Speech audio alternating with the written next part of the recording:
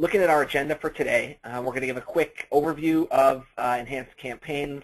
We'll talk about some of the trends we're seeing in the market. Uh, Adam will share his perspective on um, what Walgreens is seeing and how they're thinking about multi-device marketing. We'll spend some time on what we've called the mobile opportunity gap and some best practices for holistic multi-device marketing strategy. And then finally, we'll give you some thoughts about where everything's going to help you uh, get ahead and prepare for uh, the future. And then, well, as Laura said, we'll take uh, some Q&A. So if you have any questions throughout, please go ahead and submit them in the chat box, and we will uh, hopefully get to as many as we can. So let's jump into an enhanced campaigns overview. Uh, if you're down with EC, then uh, you'll know the acronym because I'm going to save as many precious syllables as I can over the course of this webinar. So just the facts, ma'am, for those unfamiliar, Enhanced Campaigns, or EC, uh, is a new, uh, well, was a new Google campaign type. Now it's probably old hand for um, most of us marketers that consolidated paid search management across desktop, tablet, and mobile ad placements. Google's official um, rationale for making the change was to make sure that holistic multi-device marketing became the default in this mad, mad mobile world. And today, of course, we celebrate the one-year birthday of Enhanced Campaigns. Uh, the official automatic migration to Enhanced Campaigns was one year ago today, although uh, the format itself first opened up uh, many months prior, and, marketers had the opportunity um, to migrate. But uh, at this time last year, if you hadn't already moved over to Enhanced Campaigns, Google did it for you. So we will be uh, serving birthday cake and singing a little uh, happy birthday song to Enhanced Campaigns at the end of the webinar, so stay tuned for that. We'll have to bring in uh, Kelly Rather, our Senior Marketing Content uh, Manager, for that uh, rendition. All right, so we did a survey of uh, marketers that we just wrapped up, and we're going to be publishing those uh, the results in a paper actually uh, that's going live today. So I'll tell you where you can find that. And um, here's some of the key findings from this body of research that was looking at enhanced campaigns one year later. First, we asked marketers what their initial attitude was towards the enhanced campaign migration. And 40%, um, as you can see here, of respondents originally had a negative attitude uh, towards the EC migration. We'll talk about some of the reasons for that on this slide. Primarily, marketers were concerned about the impact it was going to have on campaign metrics by having desktop, tablet, and mobile phone all managed through uh, the same uh, campaign type. There was concern over increases in cost per click and unit economics that then would therefore um, potentially increase spend and click volume.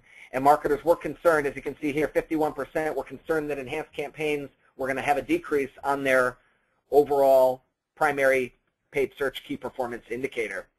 We'll talk about uh, what actually turned out to be the case, as many of um, the initial fears did not come to fruition. But uh, this just gives you a sense of where everyone's head was at a year ago when we were all freaking out about enhanced campaigns. In terms of the process that most marketers use to migrate to enhanced campaigns, about uh, three quarters of all marketers migrated a few campaigns at a time and monitored performance as opposed to uh, moving all their campaigns at once.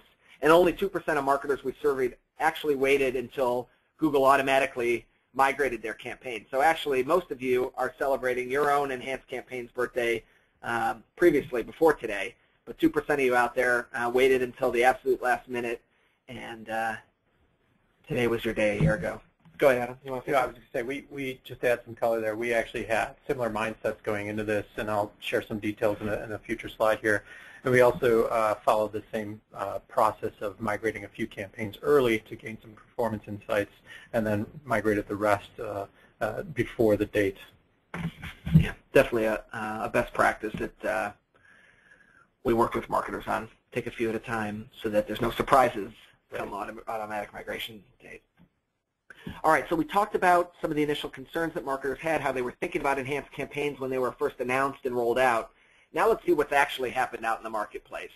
Um, some recent data that we just released for the second quarter.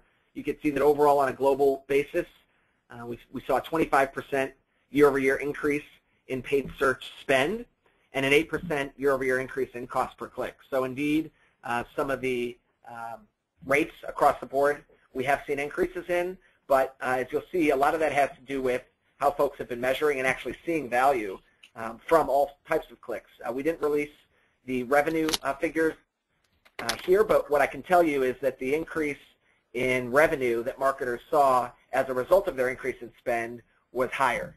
So we're still seeing uh, increased profitability for the paid search channel. So with ad spend growing at a healthy 25% year-over-year rate and revenue growing even faster, it's still a good story for paid search in terms of effectiveness for the channel. And then we'll talk a little bit about what the um, cost per click increase has meant for marketers as we continue. And as far as the share of spending clicks for mobile goes, uh, it's probably no surprise to anybody active in the uh, search and digital marketing space. We're seeing increasing mobile activity with, with mobile now accounting for about 30% of spend uh, in the U.S. and higher in the U.K. and Australia. And as far as clicks goes, uh, anywhere between 30 and 45% of all clicks for all paid search clicks are now coming from mobile devices. As far as the cost per click rates, here you can see the absolute rates in Q2 by device. This is a, a global across um, a, an index of Kenshoo clients across all verticals and all regions. And you can see in U.S. dollars here, uh, desktop is still the highest cost per click at 65 cents. Tablet is not far behind at 61 cents, and phone is now at 55 cents. And we'll talk about some of the ways that marketers are managing bids and using the mobile bid adjustments um, that are available to um, optimize bids. But certainly you can see the trend here over time. Uh, at this time last year, mobile phones was at 45 cent cost per click. Uh, so quite a bit of uh, increase on the phone, and we'll talk about why that is, but certainly part of that is due to the way that they're managed through enhanced campaigns, or as we now know them, campaigns. As far as performance, uh, here's another data point from our survey. When we asked marketers how the performance of mobile paid search compared to desktop, you'll see here the majority report that mobile performs slightly worse or much worse. Um, but then, of course, you also see that one in five say that mobile performs uh, slightly better. And so this, of course, is all relative. Uh, and I think at the end of the day, every marketer is going to have their own metrics, or should have, if they don't already, uh, different metrics and objectives for mobile. And so um, it's important to not just hold mobile to the same accountability and same thresholds that you would your desktop programs. And um, that's going to uh, help you get a better handle on what is the true value of each mobile click, and of course what you, be, you should be spending to get that placement and um, that traffic. Anything you wanted to add here, Adam? Yeah, definitely. So that's exactly right. We, I would agree in that um, mobile is a different platform, right? But it has a different use case, and we'll talk a little bit in detail in a, in a future slide here about uh, not necessarily treating mobile differently in sense of um, a completely separate experience, but definitely treating it differently in terms of how it's being measured against the other experiences, whether it be desktop, laptop, tablet, etc. Yeah. Okay, so uh, Adam, why don't you go ahead and take it away and share more of Walgreens' perspective? Yeah, great, thank you. So as I mentioned earlier, and as Aaron alluded to in, in some of the data, uh, we, we, had some initial reactions that maybe weren't quite favorable. Um, specifically, we felt as though that this shift would go against all the best practices as laid out by Google directly. We had heard for months slash years that we should take the time to build out campaigns to the most granular level to target devices by carrier uh, with specific messages to the device. So iPhone on AT&T might see a different uh, message versus you know iPhone on Verizon or what have you. And, and we had actually taken the time to, to build those campaigns out to that, to that level of, of granularity, uh, it, which is a, a, segue into the next bu uh, bubble there, which you can see is we felt that this removed a lot of the control that we had uh, to, to make these campaigns really efficient at that most granular level. So we were feeling as though this shift was going against best practices, uh, remove the control. We got the concept of it being, uh, you know, kind of uh, forcing people to think mobile first, and we agreed. Uh, mobile is and, and, always will be a very important part of our, our, strategy and our roadmap, but the shift in timing didn't allow, align with our internal business needs and timing. So while we were working on shifting towards a mobile-first mindset, the July 22nd date seemed a little arbitrary, and, and we were a, a, a, little taken aback by that. Um, so our initial reactions weren't weren't the most favorable, um, but we did we did of course approach it with uh, with the utmost care. So what were our major findings as we were um, shifting gears? Um, as I mentioned before, we did lose control over device and OS targeting. Not a big deal, but we did, for some of our business units, have specific messages for the device and, and the carrier even. Uh, so for example, for our photo business, we have our three business units to be sure. We have our pharmacy business, which is all the prescriptions, our photo business, which as you can imagine, prints and calendars and so on, and then our daily living business, which are all the sundries, the front of store items, the, the mops, the shampoos, the band-aids, the chips. Those three separate business units each have a slightly different use case. And for photo, since most of the experience is flash-based when you're uploading your pictures and designing your calendar, we had very specific messaging helping the customer get through the experience, maybe starting the process on phone and then shifting back to desktop. And we would use search ads to, to help them along with that, to have this kind of sequenced ad approach. And so we lost a lot of that messaging capability with, with the shift to enhanced campaigns to EC. Not a big deal, but something we had to adjust for. It also um, created a scenario whereby we had to have, in an ideal world, a single URL for uh, all of the experiences. And, and, this is a bit of a challenge for us because of our different back-end systems.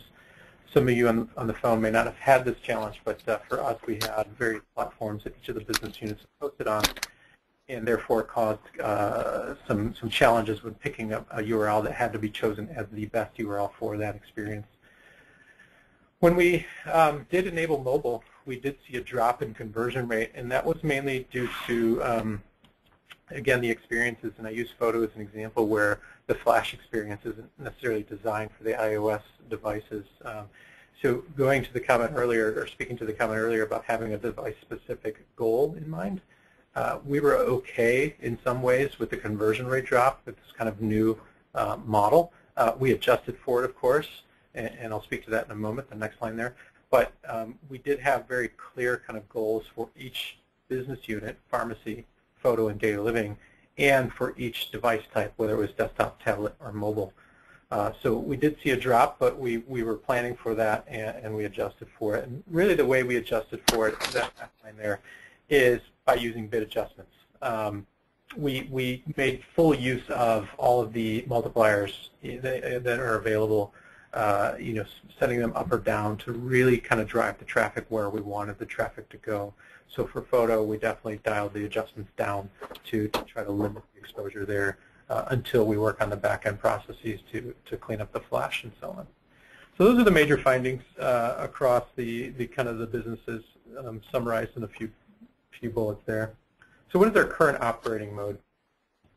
In short, basically all of our brand keywords, and specifically brand plus in our world is Walgreens plus some some other keyword are opted into mobile in a very controlled way using the multipliers again, the bid adjustments. We do control those, but more or less all brand keywords are are opted into mobile. And when I say opted in, I mean don't have a, a negative 100% uh, multiplier uh, and so on. Uh, but not all lines of businesses are opted in. As I mentioned, photo, we're, approaching very cautiously uh, because of the experience or the customer experience there. But daily living, we have pockets of daily living that are opted in based, again, on the use case. So our beauty business is different than vitamins and so on. So we, we selected by department. Uh, and we have definitely accelerated the mobile first thinking. That was something internally that we were accelerating. Uh, we did not accelerate it in response to the enhanced campaigns. It's just uh, given our own data where our customers are going, given the marketplace changing. Uh, we, we did accelerate the, the roadmap for our, our, our redesign uh, for adaptive and responsive, et cetera, uh, removing the flash as much as possible and I think Google just announced that uh, even some of the flash sites are going to start to be slightly um, delisted in some of the SEO results. Even so, Google's definitely uh, reacting to the flash. And we've, we've actually along the way gained deeper insight into the device usage by business unit and by customer. So uh, we've got a, a, lot of great, uh, great takeaways. And so the last slide here uh, for my section is the key takeaways, right? Device, non-desktop devices are primary players. We all kind of knew this. Um, and it's really not even the laptop anymore. The laptop sales are, are, declining. It's really truly the mobile and the tablet devices. Um, Google, of course, was ahead of the curve in seeing the trends. Um, but you know, if you haven't already, please definitely watch the trends, accelerate your your thinking, which is number two here. Prioritize the adaptive responsive design. If it's in your roadmap, move it up. If it's not in your roadmap, um, put it in your roadmap. It's, it's going to be key. And of course, test, test, and retest. If you haven't tested adjusting your multiplier, your designs, your use cases for the device, uh, test, test, and test. It's a very dynamic world that we live in, and so uh, never rest on your laurels. Always be testing. ABT. Thanks, Adam. All right, let's talk a little bit about what we're calling the mobile opportunity gap.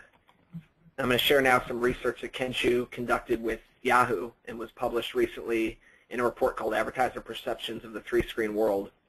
And again, at the end of the webinar, I'll share all the URLs where you can download uh, this research. So no surprise here when we ask marketers if the interplay between paid search across devices makes an impact on consumer activity. Almost everybody uh, said that it has some impact. Um, yet when it comes to the sophistication of cross-device marketing strategy, many folks are either uh, only somewhat aligned with consumer trends or very behind. So this is what we're referring to as the gap. Clearly consumers are using mobile more and more as part of their everyday content consumption, purchase behavior, um, but yet marketers still have some work to do in terms of adopting their marketing strategies. So specifically, what are some of the areas that marketers are focused on? We're about half-half uh, in terms of folks that are providing um, a rich, optimized phone or tablet experience for visitors, and the other half is either planning on doing it this year, planning on exploring it this year, and then we've got a small sliver that's not planning on exploring it or doing it at all. Of course, room to grow here. And in terms of specific mobile functionality that marketers are currently using with their ads, here we asked uh, if folks were using things like click to call, location extensions, mobile product listing ads. And we found that about 50% are using click to call or location extensions, uh, and just over one in five are using mobile PLAs, with the full 30% using none of the uh, none of these options. So these are certainly features that are going to help with um, specific mobile conversion types and other uh, uh, forms of interaction that are going to be preferred to your consumers, your customers that are searching for you and reaching you over the mobile device. So um, it certainly behooves you to take advantage of some of these, especially if you're in the retail space.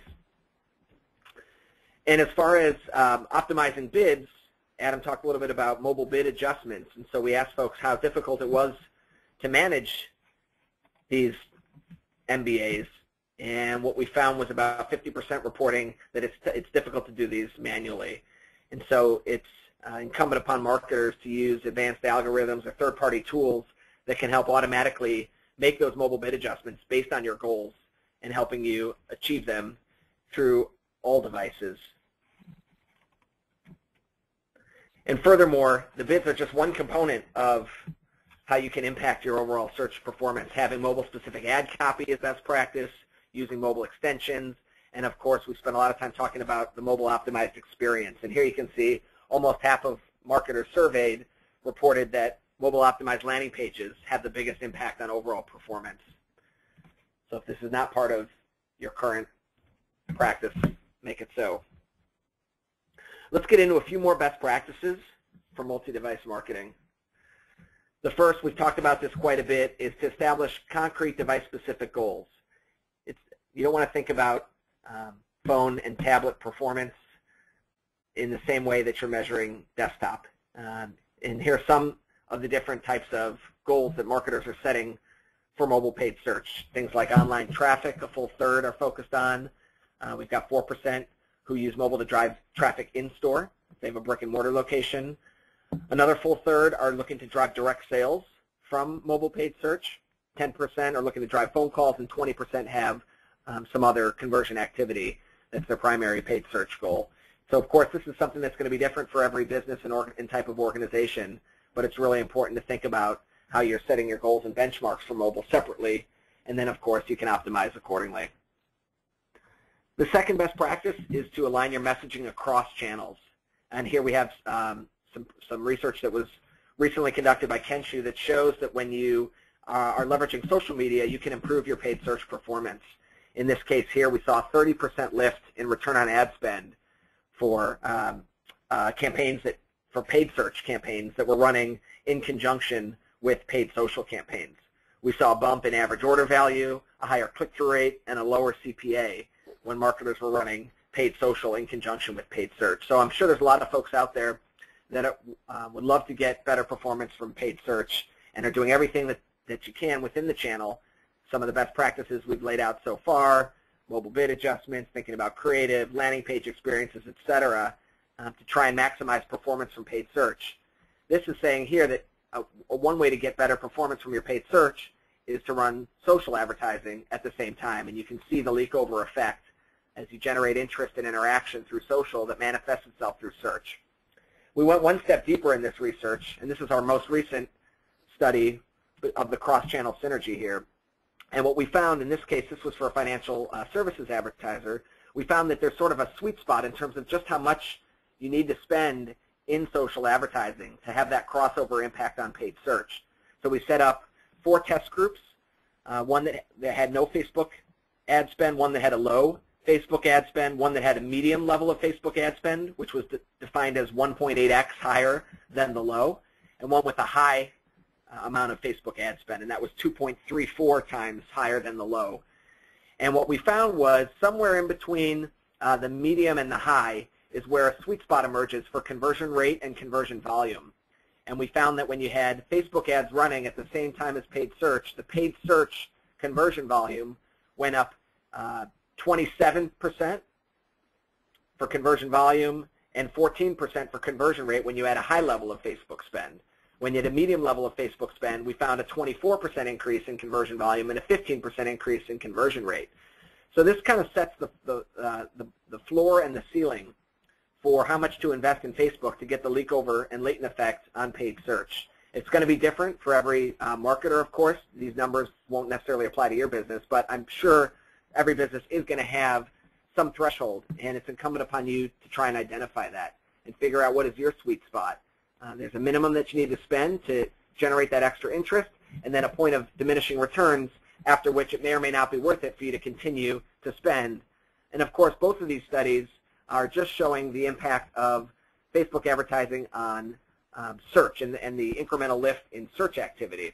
It's also worth stating that both of these uh, studies show that just measuring the success of Facebook within its own channel was deemed successful. So Facebook advertising is a great way to generate direct response and ROI results um, just within its own channel. But then, of course, when you add in the impact it has on search, the results get even better.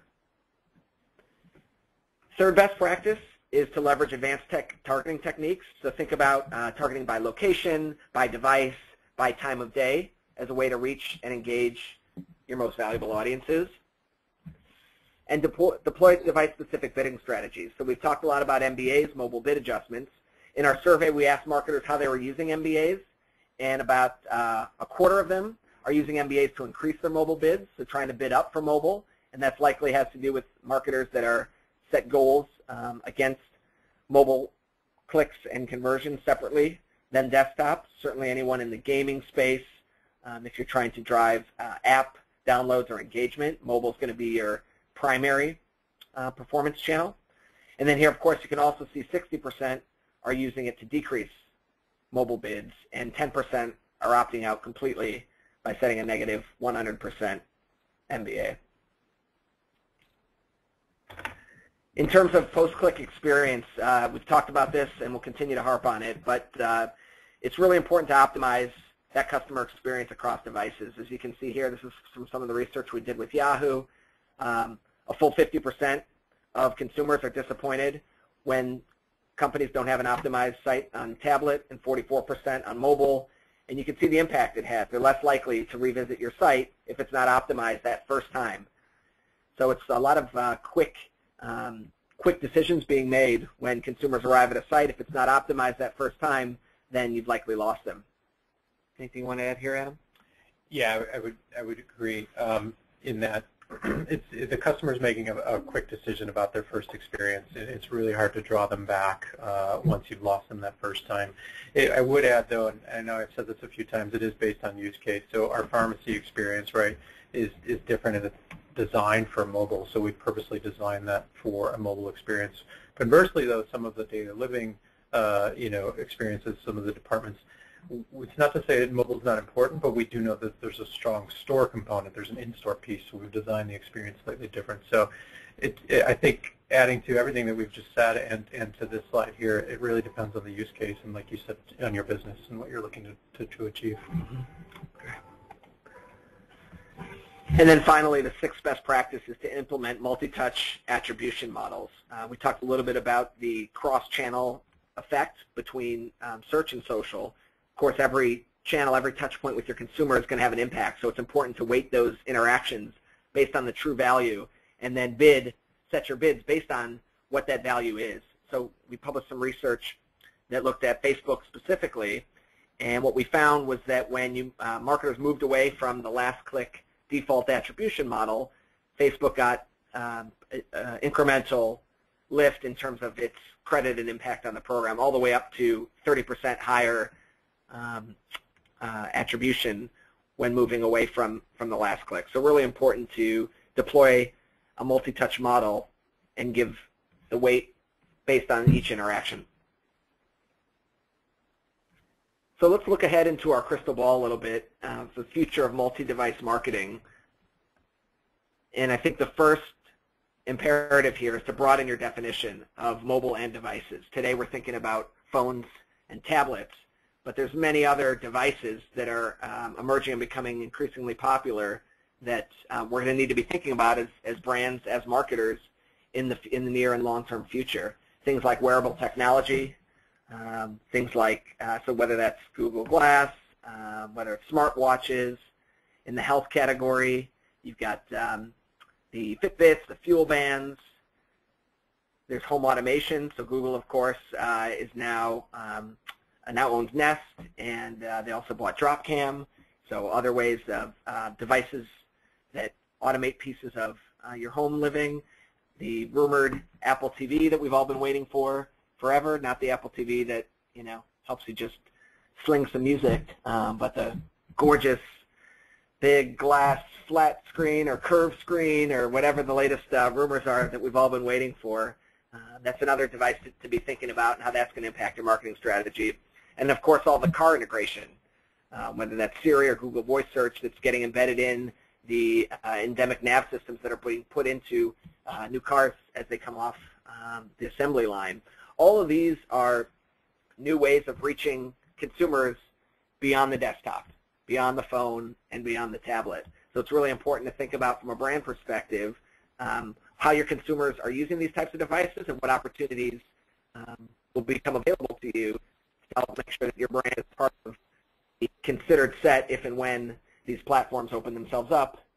And uh, based on you know everything that we've seen from Google and companies like it, we can bet that there will be some opportunities for brands to insert themselves into the process here.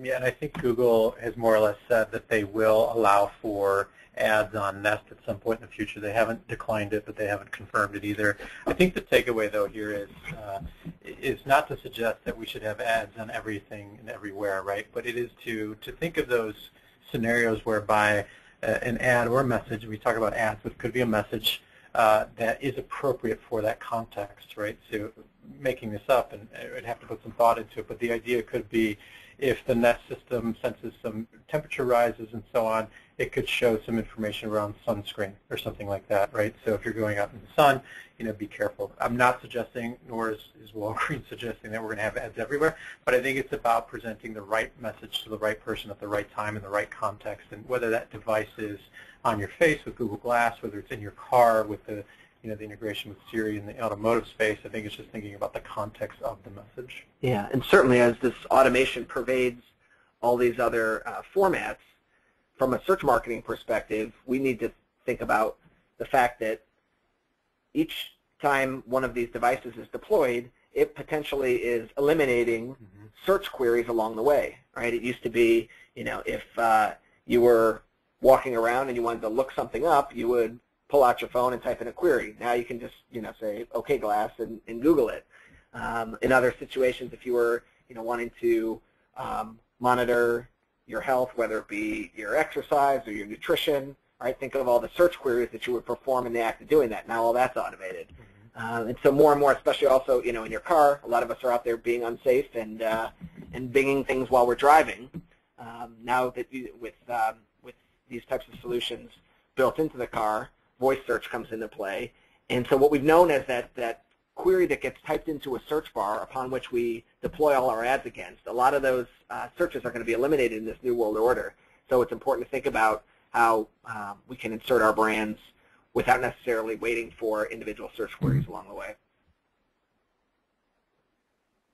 Another best practice is certainly to keep an eye on Google and other things that they have coming. Um, for retailers out there, hopefully you're familiar with shopping campaigns, which is a new campaign type for managing product listing ads. And uh, next month, um, there'll be um, an automatic migration to this new format for shopping campaigns, which will feature streamlined product-based bidding, some advanced reporting tools, as well as uh, some new competitive landscape data. So be sure to keep an eye on that. And think about uh, leveraging mobile app downloads as an ad format. Um, so if you have an app and you're trying to generate usage, and uh, it's really important to, one, leverage the ad formats that can help drive that, but two, make sure that you're measuring the full cycle of the usage of that app and getting to a true customer lifetime value metric. So beyond installs, um, tracking any in-app activity, if there's any revenue generated within the app, uh, Kenshoo has an SDK that you can deploy that helps you measure all that activity and then attribute it back to the ad that actually drove that initial install. So it's a great way to know the true value of each of these ads and manage your budget to it. And we spent uh, a lot of time um, talking about Google, but let's not forget about Bing and Yahoo as well. Both of these companies are innovating rapidly within the um, search space, within the mobile space. Uh, Bing, of course, has um, recently unveiled its product ads. Yahoo has its native ad format uh, called Stream Ads there's a number of um, opportunities from a mobile marketing perspective that you want to make sure to, to capitalize on. So I've referenced a good deal of uh, research from our Enhanced Campaigns One Year Later report, and that is now available at kenshoo.com slash EC. So if you want to get all the insights, we have the survey data, and we also have individual marketer perspectives from brands and agencies around the world. So be sure to download that. And um, uh, perhaps join me in wishing Enhanced Campaigns a happy birthday. I promise singing. I don't see Kelly, but maybe I'll do it for her. So I'm going to sing happy birthday to Enhanced Campaigns. You didn't think I would. Well, Laura knew I would. But uh, I'm going to do that just to buy you all some time to submit your questions into the chat box. We've reached the end of the content here. So um, uh, submit your questions, and we'll compile them, and Adam and I will answer them in a minute. And I'd like to introduce you thankfully was listening from the next room. So Kelly Rather is going to join me in singing Happy Birthday to Enhanced Campaigns. A one, a two, a three. Happy birthday to you. Happy birthday to you. Happy birthday, dear Hannah Happy birthday to you. Thank you, Kelly, for never leaving me hanging. And did we get any questions? Okay, we've got a couple. All right. Um, so while we take your Q&A, I'm just going to put up here our last slide, which shows the URLs for all the research that was referenced in today's uh, presentation. So again, go ahead and submit your questions. Laura, what's the first one we got?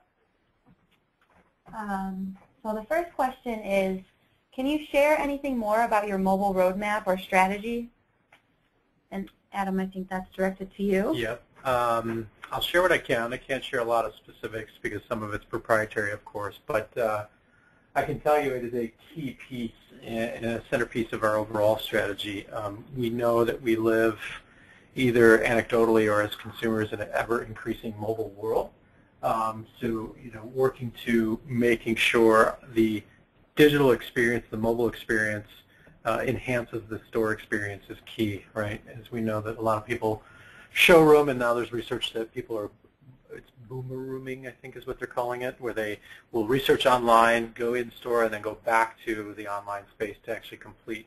Uh, so it, it, the, the takeaway is, um, and this is probably no surprise to anybody listening here, you guys are all experiencing this, mobile is a key piece of our, our overall strategy. It's a centerpiece we're doing everything we can to um, to make sure that all the experiences across devices are are set up for success for that customer, right? Whether it be adaptive, responsive, what have you, including all of our marketing, uh, so email templates and so on and so forth, using dynamic URLs in paid search to make sure that we're bringing people to the right point in the experience, uh, whether it's on the mobile device and bringing them into the app and what have you. So mobile first is kind of the takeaway, and you guys have probably experienced this either, like I said, as a consumer anecdotally or in your, your workplace.